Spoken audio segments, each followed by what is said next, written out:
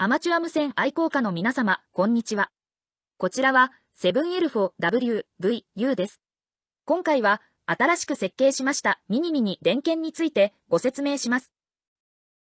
2020年に頒布したミニ電源は、小型で移動用によく、指で叩くキーイングになりますが、打ちやすいと好評でした。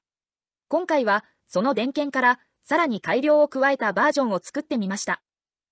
まず、サイズは写真のようにさらに小型化を達成しました。重さは足アダプターを装着した時にわずか 40g しかありません。移動用電源として持っていくのに最適です。また、この電源は指で叩くようにして、打つと非常に打ちやすく疲れにくいです。そして、接点は信頼性の高いマイクロスイッチを使っていますので、キーイングの時にカチカチ音がして軽快に叩くことができます。最後に、屋内と屋外どちらでも使用できるように、卓上で使用する時のマグネット機台と移動用の足アダプターが添付されています。内部構造は写真のようにマイクロスイッチと 3.5mm のジャックが配置されています。また、マイクロスイッチを使うとスイッチの遊びが大きくなりますが、その点も板の厚さを選んで、ちょうど良いキーイングができるように設計しました。今回の電源のさらなる小型化の目的は、キーイングの時の重心を真ん中近くになるようにするということでした。これにより、マグネット機台を金属板に固定しなくても、ある程度安定したキーイングが行えます。このサイズから重心を考えて、いろんなデザインのものを何個か試作しました。結果として、見栄えと操作性から、今回のようなノブのところにへこみをつけたものとしました。それでは、最後に実際のオペレーション動画をご覧ください。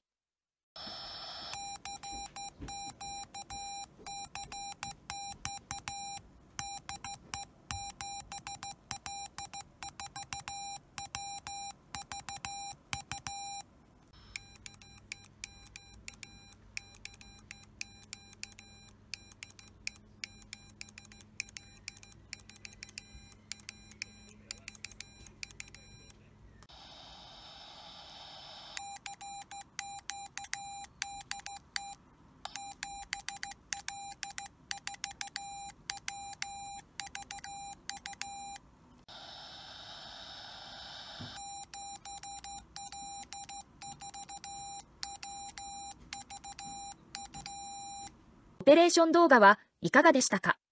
個人的には手首を使って打つ本格的な電源よりかなり打ちやすく疲れにくいと感じています。軽量なので移動の時に持っていくのも気になりません。実際に私はこの電源に写真のような小型トランシーバーと組み合わせて固定と移動で楽しんでおります。それではどうぞよろしくお願いいたします。